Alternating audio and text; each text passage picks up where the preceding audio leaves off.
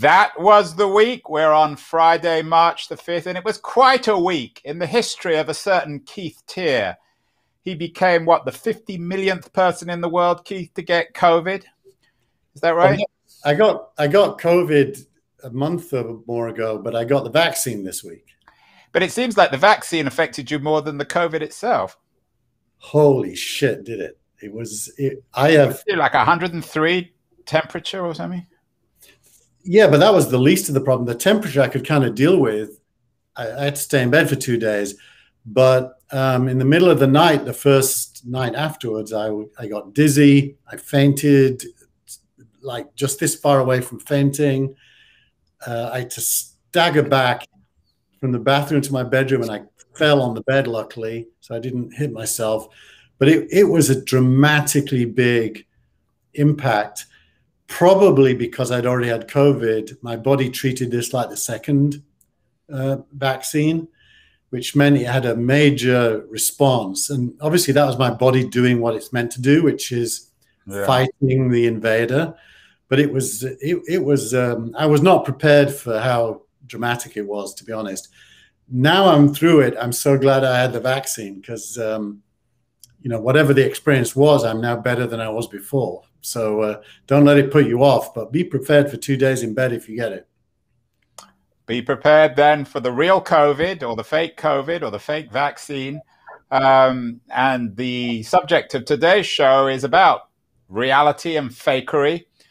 Uh, the title of your newsletter is WTF. No one needs me to translate that. Are NFTs. What are NFTs, Keith? And why perhaps did your body need an NFT when it came to COVID to uh, avoid the awful week you had on the health front? Good attempt to link the content there, Andrew, but flawed, I believe. Explain um, why. You know, the uh, NFT stands for non fungible token. And I will confess that two weeks ago, I didn't know what it stood for. Uh, a few things have happened that dominate this week's newsletter. The first is that Square's Jack Dorsey bought the majority shareholding in Tidal, Jay Z's music company, which puzzled everyone. And then um, it was announced that $230 million has been spent by fans on National Basketball Association video collections that are unique um, to the buyer. And uh, suddenly, the, this thing about non fungible tokens is a question that anyone who's paying attention to tech is going to have to ask themselves. So, what are they? Um, it's very simple. Um, in the real world, art is unique and there are people who will validate that a painting is actually the unique painting. Or let's say, or people are unique. There is only one Keith Teare. People are unique. Um, there's lots of things that are unique. You know, um, um, what an NFT does is it makes it possible for a digital artifact to be determined to be unique. So it's stamped with its authenticity, essentially. It's stamped with its authenticity, which can also be its provenance uh, and its ownership. Its current. It's a huge deal. This then, who invented this technology? It's it's part of um, uh, the crypto network known as Ethereum. Has a number of different token types, and non non fungible tokens is a type of, of token on the Ethereum blockchain, um, and it was invented by um, the same people that invented Ethereum, uh, which is um, uh, I can't pronounce his name, so I'm not even going to try. But he's a, a, very, very clever young. Yeah, we'll have to get. I'll have to call my friend Elizabeth Stark. Elizabeth, if you're watching, she's one of the uh, the pioneers of this stuff. So basically, uh is this does NFTs do they fix the whole problem of piracy? I mean, once you have NFTs, no, no, they don't. No, they don't. Think of think of piracy as needing a technology that prevents there being fake copies. Where, whereas what NFTs do is authenticate that this is the original single version. So, so the first mover, the thing in itself, the, the first thing in itself, the, the platonic, uh, the the platonic version of anything digital. This is yeah. So if you buy a piece of digital art, as has happened this week for millions of dollars, um, um, and you you want to display it in the future, you can probably display it as virtual reality or augmented reality as well. So it doesn't have to be on a screen. Um, you can prove that you're the owner, and it is the one. So it's interesting that it opens up a distinction between value and what it looks like. Because the, the, the, digital version of a piece of art could be replicated and would be identical. But yeah. if you want to maintain the value, you have to prove that you're the one who owns it. So yeah. even if it looks identical, it's not valued in the same way. The same as if I took a really high resolution photograph of the Mona Lisa using the latest Sony A1 camera um, and framed it, and it would look, you know, from a distance exactly like the original. Um, it, it isn't the original. And so, what does this do to the whole question of uh, sort of invented uh, reality? Um, and then you, you you you forwarded me that uh, link with Tom Cruise. Yeah, yeah, uh, that uh, we can show it actually. Um, um, just give me a second, and I will. I will. Um, um, I will try to find where I texted that to you, and I will open it up in a browser. Where is it? Here we go.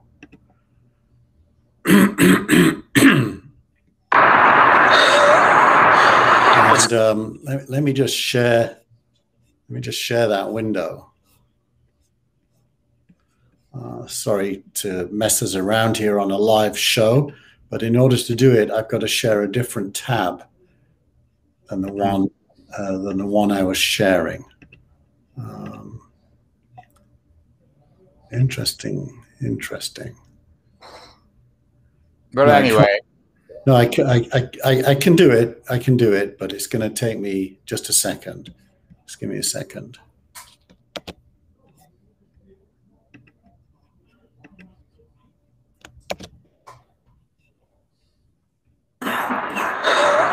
Here we go. Now I now I can do it. Um, share my screen. Um, here we go. So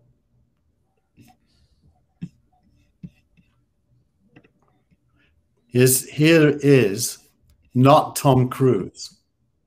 What's up, TikTok? You guys cool if I play some sports?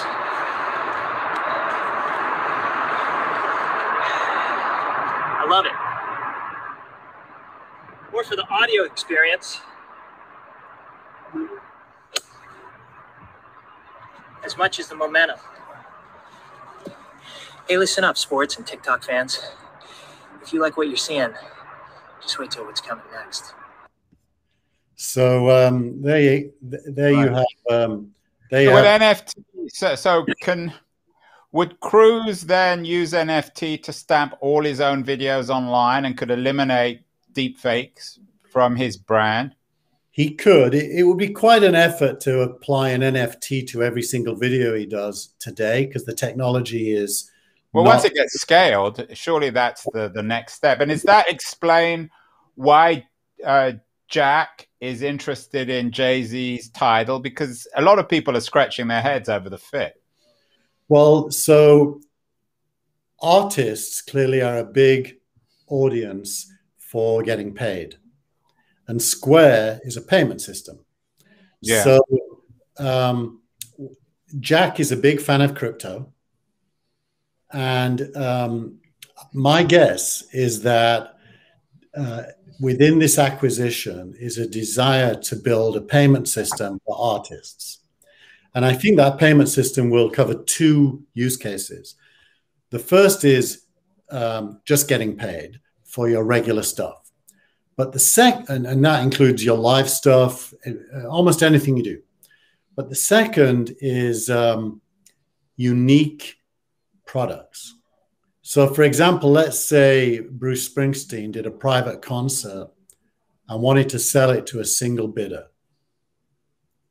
He could do that. Yeah.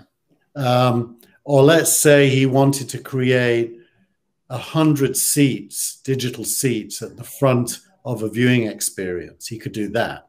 Right.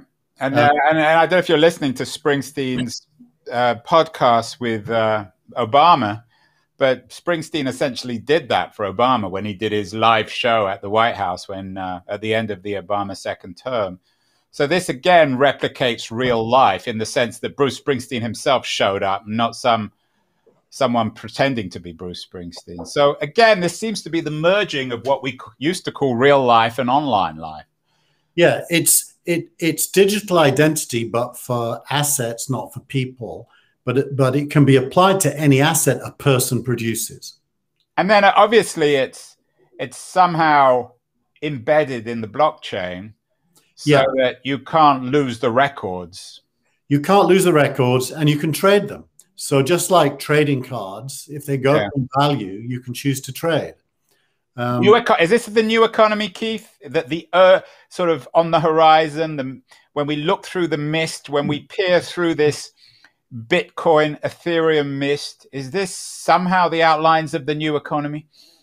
I, you know, I've been struggling with this idea since 2005. I, uh, my company Edgeio, that I co-founded with Michael Arrington, we, I think, two years in, we created this uh, digital wrapper which could contain white papers or music or any digital artifact. And we tied it into a, a shopping cart and we made it possible to buy a digital artifact wrapped inside this wrapper. But we then crypto wasn't around and um, we weren't focused on uniqueness. So we were just focused on. Oh, you're always too early, Keith. You need to slow down. 15 years too early. Uh, there's another really interesting piece on this that you have in your newsletter on digital currency by the very, very talented uh, Columbia University economist Adam Tooze. What does Adam Tooze say about this new economy? Um, Adam is talking about the um, the inevitability of money transforming from what we know it as today, dollars and pounds, into a wide range of other elements, let's call them. Uh, he quotes Gramsci um, very eloquently, uh, saying that. Uh, Not everyone will know who Gramsci is, Keith. You, with your, your communist background, can explain Antonio Gramsci. Yeah, Antonio Gramsci was an apologetic Stalinist um, well, that's what that's the unkind version. uh, but anyway, but he was an Italian, an Italian Marxist theorist of culture and of of power. Yeah, he was an Italian intellectual. Today, he'd be thought of as a libertarian social democrat, um, and and but he was very clever, very smart, and he talked about the theory of money and how money is part of civil society. That it's not part of economic infrastructure, that money really uh, has its authority through people accepting it. Um, not not because governments print it. So, so, what does so what does Adam say in terms of this Gramscian analysis of crypto? Uh, he says that um, Bitcoin as a currency is a libertarian dream today, um, but he but believes it's, reality, it's more than a dream; it's becoming a reality, right? But it's becoming a reality, and so we're now in the transition from money printed by governments to whatever comes next. And Bitcoin's part of that puzzle. Interestingly enough, I had a Twitter back and forth with Michael McFaul, the former, um, the former um, uh, ambassador to Russia, who I yeah, Stanford-based guy, I know him. And he was writing about America and China and what relationship they need to have and I went in and said, well, uh, currency and global reserves is going to have to be a big part of that, which Michael, of course, being who he is, was very much on the political layer. Mm. And I tried to make the point that the economic layer is actually going to drive everything. And globalization is economic before it's political. It may never be political because it might get stopped, but economically, it's unstoppable. There's also the nationalization of this. I mean, India and other countries now are trying to nationalize um, crypto to sort of create digital na- national digital currencies. Yeah. How does that impact on uh, Adam Tooze's argument? Well, that I think that is mainly about interoperability in the future. If, if you don't have a digital currency in the future, your currency won't easily be interoperable with all the systems that the world needs to run. And, and so the inefficiencies of paper, never mind gold, go away. And you end up with, uh, weirdly enough, what Lenin talked about, which is accounting is simply an electronic ledger. And it really seems as if crypto is, even for skeptics like myself, it's for real. And the fact that Dorsey's Square, which is one of the, the pioneering crypto companies, is now acquiring essentially music content platforms, proves that we're beyond the experimental stage. It's becoming uh, the actual economy as the internet was the actual economy in the mid 90s. Is that a fair comparison? Yeah, yeah. The, I mean, the, the slightly comical version of it is that Mark Cuban announced today that the Dallas Mavericks will be accepting Dogecoin as payment for tickets and merchandise, um, which Dogecoin is is the joke crypto coin that was created satirically and has now become quite valuable. Right. Although people used to joke about Cuban in the mid '90s, and as always with Cuban, he seems to have the last laugh. So I'd never write that guy off.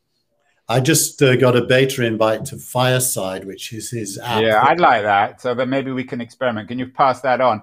So let's move on. So we're talking about, we, we have been talking about the emerging economy, the real internet economy, which was essentially founded by Google in 1999 2000, is the online Web 2.0 advertising economy. And there's big news on that front this week, too. That's changing, just as everything is changing. What's happening on the advertising economy front, Keith? Well, Google's announced that it's abandoning third party cookies. And third party cookies are the things that track you around the internet mm. and, and uh, enable um, platforms or advertisers to build a profile, a very specific profile about you. Google's abandoning it largely because it has to because uh, mainly because of Apple's decision. Right. So this is not good. Some some some of our privacy libertarian crowd will be saying, "Oh, that's great news," but it actually isn't good news for for for privacy advocates, is it? I think it's nuanced. So I um, I write. I think there's a lot of nuance when it comes to Google. Maybe Apple there is, but what's nuanced about Google? Google wants to own. I mean, again, what Google is trying to do, as it's always tried to do, is transform the internet into Google. Isn't that fair? Well, let's let's let's do an explainer first. Okay, so um, we're jumping ahead. Yeah, what what what they're doing is um, they're replacing third-party cookies with a system called FLoC, F-L-O-C. And what FLoC is is that if you're an Android user or a Chrome user, uh, they, they know everything you do, and they're going to start to uh, characterize you and put you into one of a, of a fixed set of buckets. So they won't know that you're Andrew Keen, but they'll say, right. you belong in this bucket. They'll then allow that bucket to be read by advertisers in order to target you appropriately. So the nuance comes in here. Unless we can get rid of advertising altogether, which I would prefer. Yeah, but that's not going to happen. Then I actually want to be understood but I don't want to be tracked. So um, being understood is difficult. Um, I'm not going to simplify this or suggest that it's doable, but with modern machine learning and deep learning, it's closer to being doable than ever before. That that understanding a person involves knowing their short-term tastes and they're kind of consistent. Yeah, but look, Keith, this you're giving Google a very, very generous read on this. I mean, what Google seems to me to be doing. I'm not okay, saying. I'm not saying. Yeah, what, what Google has always been, as Eric Schmidt so famously said, I think it was in 2010 to the FT. We want to know you. We at Google, when he was the CEO of Google back then, we want to know you better than you know yourself because that is the holy grail in economic terms. Because if they know us better than we know ourselves, they know what we want to buy, where we want to go, what we're thinking, they can sell us anything we want. Yeah. And what it seems as if in this post cookie internet, which looks inevitable, what Google want to do is replace the cookie, which is a, a kind of third party open system, to one in which all the, the personal data about us is controlled either through Android or through Chrome, which is theirs. So they're not going to share it with anyone. Is that fair? Well, it's it, it is, but it also shows their weakness because we we the people now have a we should all be so weak, Keith, that we no, but we, own, me, we own Android and the Chrome browser. Let me make my point though. Why are, why is it showing weakness? Because we can choose not to use Android and Chrome easily. Right. But most people don't know that, do they? Does this does this does this indicate a new we had the browser wars of the 90s again going back to the 90s netscape versus the microsoft blah blah is there going to be a new browser war now between particularly Safari and Chrome with uh, Firefox kind of caught in between? And Microsoft Edge is actually making a play as well. Um, so, what's Microsoft's role? Are they more on the Apple side? I would guess. They are playing that game, but you know you can't really trust that, can you? Um, it's great, it's great digital power politics now. It's these. Yeah it's it's like the British and the Russians and the French and the Germans in the 19th century, and it's Google, Microsoft, Apple. Now, if you move forward, um, there are some problems. Like we're using Restream here to do our show, and Restream only works in Google, uh, Chrome, or a yeah. Chrome-based browser. There are other Chrome-based browsers like Brave or Edge are both Chrome-based. So uh, there, you know, there are we can make choices if we're intelligent. That said, I think there's a more interesting conversation, which is if if advertising isn't going away, and and um, you don't want to be invaded or even worse, badly served. I mean, the, those ads that show up after you've just bought a pair of shoes, showing you the same yeah. pair of shoes, you know.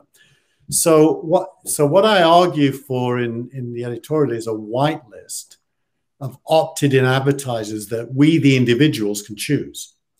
Um, like I would choose Sony cameras, I would choose Blackmagic um, Design, who do who do lots of stuff I'm interested in.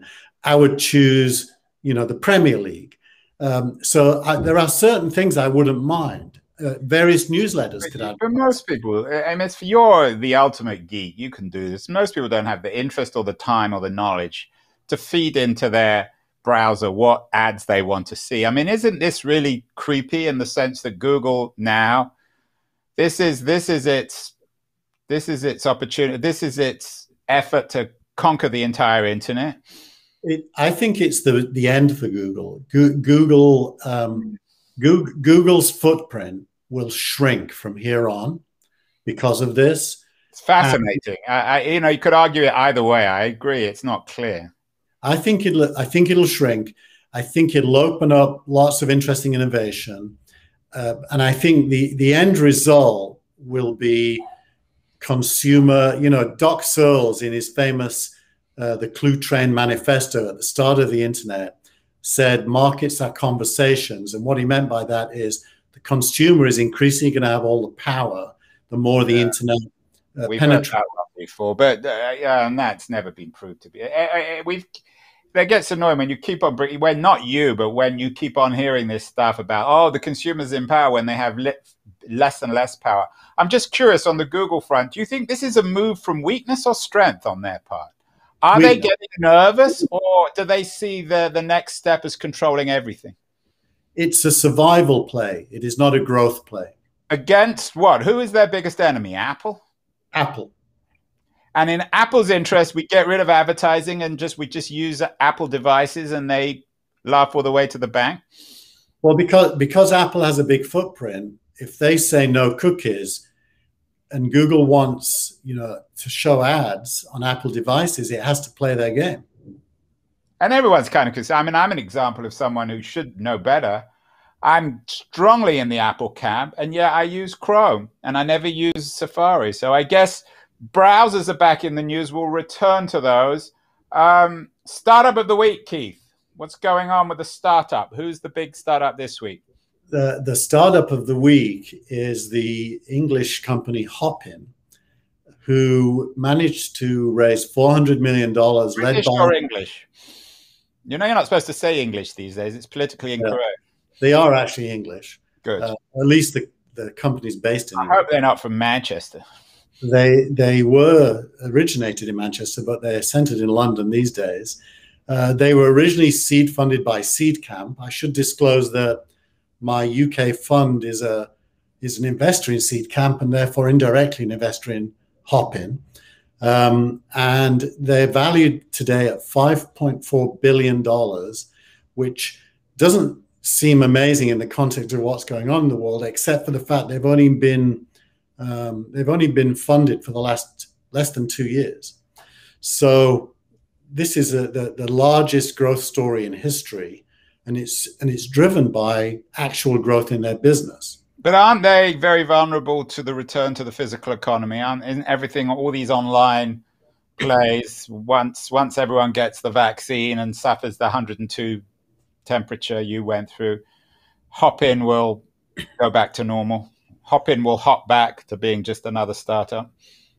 I think there's going to be a lot of truth in that, but I think there's some residual elements. Like, uh, to be honest, technically speaking, Hopin is last generation. Um, yeah. They just acquired StreamYard, which is like Restream that we're using. They're using a, a, a technology known as RTMP, which is a streaming technology. And then they're not able to do what Clubhouse can do, which is have a seamless upgrade from being in the audience to being a participant, because streaming doesn't give you that opportunity. Um, with StreamYard, they bought what we're doing, and with Hopin, they've got the streaming piece, but they can't kind of create the elevator between the two. Maybe they should buy Restream. Restream couldn't give them that either. They, they, they would have to buy a, a more modern technology based on WebRTC for streaming, um, and and and be prepared to start early, early in its life cycle and grow it and build it and become a technology company. Well, they're certainly they're certainly um, an interesting company. Finally, Keith, is he back? Paul Graham, your hero, is he the tweet of the week this week? He is the tweet of the week. Um, Paul Graham, and I'm not going to show it because I'm on my laptop and it's too hard for me to do everything that I normally do. When I press on the link, it doesn't go anywhere. I don't know. Did he delete another tweet, Paul? Is he self censoring again? You know, I could look. Uh, I can look on my uh, desktop and tell you the answer to that. I don't know if he is, but the let's tell everyone what it was. Do you, I was, hope you saved it. We can flash it up on the screen. I, I, I definitely did. He, he basically uh, doesn't want a wealth tax. He makes the case surprise, that, surprise. Yeah, he makes the case that if there was a wealth tax, and, and let, again, let's do a bit of an explainer. The way a wealth tax works, and um, my my uh, recently passed away friend Jean Marie Hullot, who was the chief technology technology officer at Next, told me about how it works in France, and this is typically how it works. The government takes a certain percent of your total net worth every year. So um, it doesn't matter if it's liquid. They look at your house, your mm. stocks, everything, and they take a certain amount every year. Now, um, if if if your net worth doesn't grow, eventually they take it all. Um, if it was five percent, you know, it takes twenty years to take it all. If it grows That's by because well, you're, only being, you're only being taxed five percent of what you have. So if you have, if you start with a hundred mil, yeah, you're right, five percent, and at, at, some point you fall below the the threshold. You're right, mate my, my math was flawed. You're quite right. But but Paul Graham's point is that eventually, and he does the math, uh, the government can take up to ninety percent of everything you own over your lifetime. Which and, isn't a bad number if you're worth several hundred million dollars or billions of dollars. I think Paul thought it was self-evident that was a bad thing. well, what's the tweet? Because it, as always with Paul Graham, it pissed off a lot of people. Um, the tweet the tweet um, would involve me getting it. So give me a second. Sorry, I'm not prepared to show you this. It's because I quickly had to change to my laptop just before uh, we started the show. The tweet is, and I will read it out right at the end here. The tweet is, waiting for it. If you start a successful startup in your 20s, a 2% wealth tax with a 50 million threshold means that over the course of your life, the government will take 65% of your stock. Why so much? Question because a wealth tax compounds. And um, he then says that the most popular proposal for a wealth tax in California is well above 2%. Mm. In fact, they'll take closer to 99%. But he forgets the fact that the 50 million also compounds. So it's compounding against compounding. And I'm sure that smart guys like Paul will invest their 50 million in things that re- return more than 2%. Just like my math mistake, he also made a math mistake, uh, which he acknowledged in a later tweet. That's probably why we're not seeing it. He's probably self censored. His math mistake was to assume that the wealth doesn't grow faster than the wealth tax. And so finally, Keith, if we had NFTs, non fungible tokens, um, would would we still be able to see Paul Graham's tweet? Only if he owned it, assigned a token to it, and made it available in limited quantities to people who bought it. WTF. That is the perfect conclusion to this show. Interesting stuff, though. I think it's maybe not quite as sexy as some of the other stuff we've been dealing with, but I, I really think, particularly the the Google news is fascinating and important, and we're going to be talking about it a lot in future. The new browser wars, uh, the new economy, it's all happening on That Was the Week. We'll see you all next week for another sensational episode. And we're thrilled that Keith is still alive. Keith, keep going another week. So we'll see you next week. Will do. Thank you, Andrew.